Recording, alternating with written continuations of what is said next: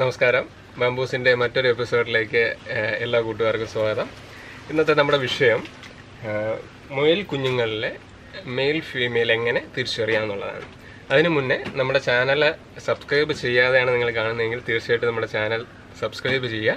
തൊട്ടടുത്തുള്ള bell button കൂടി press ചെയ്ത് എല്ലാ മറ്റ് വീഡിയോസിന്റെ നോട്ടിഫിക്കേഷൻ തുടർന്നുള്ള ഇനി വരുന്ന വീഡിയോസിന്റെ നോട്ടിഫിക്കേഷൻസ് എല്ലാം ഉറപ്പാക്കുക. ഓക്കെ അപ്പോൾ നമുക്ക് വീഡിയോയിലേക്ക് കിടക്കാം. ഇന്നത്തെ വിഷയം എന്ന് പറയുന്നത് മുയലുകളിൽ മെയിൽ ഫീമെയിൽ നമുക്കൊരു മെച്യൂർ മെച്യൂർ ആയിട്ടുള്ള ഒരു മെയിലിനെ ഫീമെയിലിനെ തിരിച്ചറിയാൻ വളരെ എളുപ്പമാണ്. അതെങ്ങനെയാണെന്ന് ചോദിച്ചാൽ ഇപ്പോൾ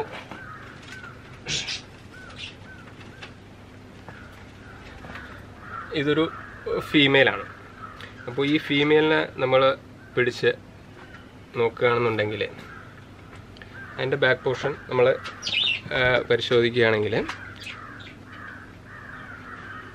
നമുക്ക് പ്രത്യേകിച്ച് അവിടെ സിംറ്റംസ് ഒന്നും ഇല്ലെങ്കിൽ തന്നെ നമുക്ക് പെട്ടെന്ന് അറിയാൻ പറ്റും. ഇനി ടെസ്റ്റുകൾസ് ഉണ്ടാവില്ല.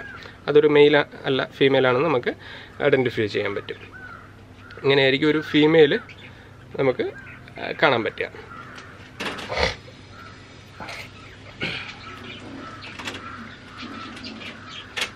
അതേസമയം മെയിലിനെ വളരെ പെട്ടെന്ന് ഐഡന്റിഫൈ ചെയ്യാൻ ഐഡന്റിഫൈ ചെയ്യാൻ പറ്റും. അതായത് മെയിൽസിന് അതിന്റെ ടെസ്റ്റുകൾസ് നമുക്ക് വ്യക്തമായിട്ട് തന്നെ രണ്ട് ടെസ്റ്റുകൾസ് നമുക്ക് നമുക്ക് കാണാൻ കഴിയുന്നുണ്ട്.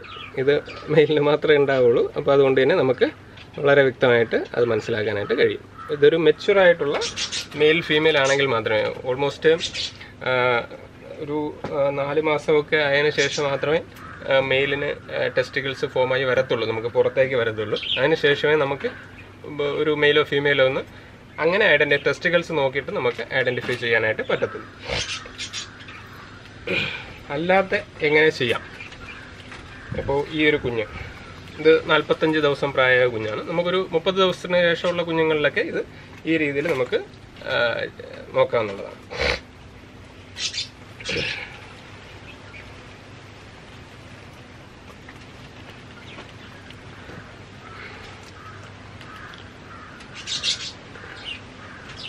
ഇത് ഒരു ഫീമെയിലാണ് നമുക്ക് നേരത്തെ കണ്ടതുപോലെ തന്നെ ഒരു ഫീമെയിലാണ് ഇത് മെയിൽ കാണുമ്പോൾ വ്യത്യാസം മനസ്സിലാകും.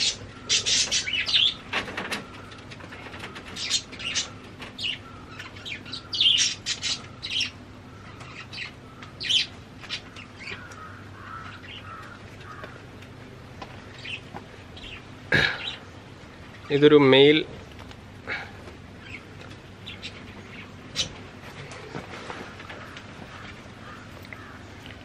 ഇവനൊരു വില്ലനാണല്ലോ.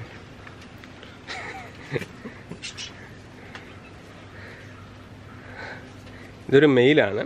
എങ്ങനെ നമുക്ക് നോക്കാൻ പറ്റുമെന്ന് വെച്ചാൽ പിടിക്കേണ്ട രീതി ഇങ്ങനെയാണ്. വലതയിൽ ചെവിയിൽ മുയലിനെ പിടിക്കുക പിന്നെ ഇച്ചിരി ഒരു വിരളിയാണ് ഈ രണ്ട് ഈ രണ്ട് വിരലിനിടയിൽ ആ വാലൊന്ന് പിടിക്കുക. ഈ ഒരു തമ്പിനയിൽ ഉപയോഗിച്ചിട്ട് ഇതൊന്ന് പുറകിലോട്ടാക്കി നോക്കിയാൽ പുറത്തേക്ക് അതിന്റെ സ്റ്റെമ്മ് പുറത്തേക്ക് വരുന്നത് നമുക്ക് കാണാൻ പറ്റും. ഓക്കെ. സ്റ്റെമ്മ് പുറത്തേക്ക് വരുന്നത് നമുക്ക് വ്യക്തമായിട്ട് കാണാൻ കഴിയുന്നുണ്ട്. കണ്ടല്ലോ? ഫീമെയിൽസിന് ഇങ്ങനെ മാത്രമേ ഉണ്ടാവുള്ളൂ. മെയിലിന് ഇങ്ങനെ സ്റ്റെമ്മ് പുറത്തേക്ക് വരുന്നുണ്ടാവും. കുഞ്ഞുങ്ങൾക്ക് ഒരു മുപ്പത് ദിവസം മുതൽ നമുക്ക് ഇങ്ങനെ നോക്കി മെയിൽ ഫീമെയിൽ ഐഡന്റിഫൈ ചെയ്യാനായിട്ട് കഴിയും.